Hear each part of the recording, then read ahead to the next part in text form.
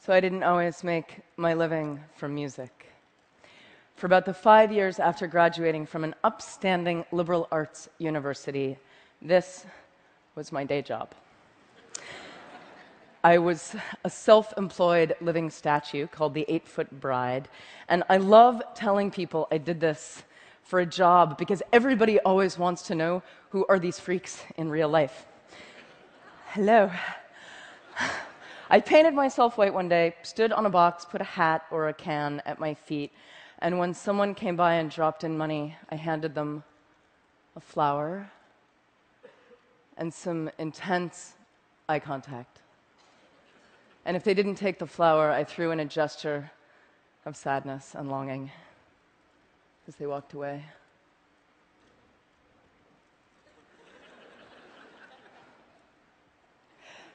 So I had the most profound encounters with people, especially lonely people who looked like they hadn't talked to anyone in weeks. And we would get this beautiful moment of prolonged eye contact being allowed in a city street, and we would sort of fall in love a little bit. And my eyes would say, Thank you. I see you. And their eyes would say, Nobody ever sees me. Thank you. And I would get harassed. Sometimes people would yell at me from their passing cars, Get a job! and I'd be like, This is my job. Um, but it, it hurt because it made me fear that I was somehow doing something unjob-like and unfair, shameful. I had no idea how perfect a real education I was getting for the music business on this box. And for the economists out there, you may be interested to know I actually made a pretty predictable income, which was shocking to me given I had no regular customers, but pretty much 60 bucks on a Tuesday, 90 bucks on a Friday. It was consistent. And meanwhile, I was touring locally and playing in nightclubs with my band, the Dresden Dolls. This was me on piano, a genius drummer. I wrote the songs. And eventually, we started making enough money that I could quit being a statue. And as we started touring, I really didn't want to lose this sense of direct connection with people because I loved it. So after all of our shows, we would sign autographs and hug fans and hang out and talk to people. And we made an art out of asking people to help us and join us. And I would track down local musicians and artists and they would set up outside of our shows and they would pass the hat and then they would come in and join us on stage. So we had this like rotating smorgasbord of weird random circus guests. And then twitter came along and made things even more magic because i could ask instantly for anything anywhere. So i would need a piano to practice on and an hour later i would be at a fan's house. This is in london people would bring home cooked food to us all over the world backstage and feed us and eat with us. This is in Seattle. Fans who worked in museums and stores and, and, any kind of public space would wave their hands if I would decide to do a last minute spontaneous free gig. This is a library in Auckland. On Saturday, I tweeted for this crate and hat because I did not want to schlep them from the East Coast, and they showed up care of this dude, Chris from Newport Beach, who says hello. I once tweeted, Where in Melbourne can I buy a neti pot? And a nurse from a hospital drove one right at that moment to the cafe I was in. And I bought her a smoothie, and we sat there talking about nursing and death. And I love this kind of random closeness, which is lucky because I do a lot of couch surfing. In mansions where everyone in my crew gets their own room, but there's no wireless, and in punk squats, everyone on the floor in one room with no toilets, but with wireless, clearly making it the better option. My crew once pulled our van up to a really poor Miami neighborhood, and we found out that our couch surfing host for the night was an 18 year old girl still living at home, and her family were all undocumented immigrants from Honduras. And that night, her whole family took the couches and she slept together with her mom so that we could take their beds. And I lay there thinking, these people have so little. Is this fair? And in the morning, her mom taught us how to try to make tortillas and wanted to give me a Bible. And she took me aside and she said to me in her broken English, Your music has helped my daughter so much. Thank you for staying here. We're, we're all so grateful. And I thought, this is fair. This is this. A couple months later, I was in Manhattan and I tweeted for a crash pad. And at midnight, I'm ringing a doorbell on the Lower East Side, and it occurs to me I've never actually done this alone. I've always been with my band or my crew. Is this what stupid people do? Is this how stupid people die? And before I can change my mind, the door busts open. She's an artist. He's a financial blogger for Reuters. And they're pouring me a glass of red wine and offering me a bath. And I have had thousands of nights like that and like that. So I couch surf a lot. I also crowd surf a lot. I maintain couch surfing and crowd surfing are basically the same thing. You're falling into the audience and you're trusting each other. I once asked an opening band of mine if they wanted to go out into the crowd and pass the hat to get themselves some extra money, something that I did a lot. And as usual, the band was psyched, but there was this one guy in the band who told me he just couldn't bring himself to go out there. It felt too much like begging to stand there with the hat. And I recognized his fear of is this fair? And get a job. And meanwhile, my band is becoming bigger and bigger. We sign with a major label. And our music is a cross between punk and cabaret. It's not for everybody. But, well, maybe it's for you. we sign, and our, there's all this hype leading up to our next record. And it comes out, and it sells about 25,000 copies in the first few weeks. And the label considers this a failure. And I was like, 25,000, isn't that a lot? They were like, no, the sales are going down. It's a failure. And they walk off.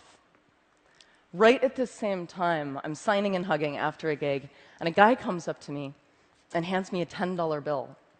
And he says, I'm sorry, I burned your CD from a friend. I, but I, I read your blog. I know you hate your label. I just want you to have this money. And this starts happening all the time. I become the hat after my own gigs, but I have to physically stand there and take the help from people. And unlike the guy in the opening band, I've actually had a lot of practice standing there. Thank you. And this is the moment I decide I'm just going to give away my music for free online whenever possible. So it's like Metallica over here, Napster, bad. Amanda Palmer over here. And I'm going to encourage torrenting, downloading, sharing, but I'm going to ask for help because I saw it work on the street. So I fought my way off my label, and for my next project with my new band, the Grand Theft Orchestra, I turned to crowdfunding. And I fell into those thousands of connections that I'd made, and I asked my crowd to catch me. And the goal was $100,000. My fans backed me at nearly 1.2 million, which was the biggest music crowdfunding project to date. And you can see how many people it is. It's about 25,000 people. And the media asked, Amanda, the music business is tanking and you encourage piracy. How do you make all these people pay for music? And the real answer is, I didn't make them, I asked them. And through the very act of asking people, I'd connected with them. And when you connect with them, people want to help you. It's kind of counterintuitive for a lot of artists. They don't want to ask for things, but it's not, it's not easy. It's not easy to ask. And a lot of artists have a problem with this. Asking makes you vulnerable. And I got a lot of criticism online after my Kickstarter went big for continuing my crazy crowdsourcing practices, specifically for asking musicians who were fans if they wanted to join us on stage for a few songs in exchange for love and tickets and beer. And this was a doctored image that went up of me on a website. And this hurt in a really familiar way And people saying you're not allowed anymore to ask for that kind of help really reminded me of the people in their cars yelling, Get a job. Because they weren't with us on the sidewalk and they couldn't see the exchange that was happening between me and my crowd, an exchange that was very fair to us, but alien to them. So, this is slightly not safe for work.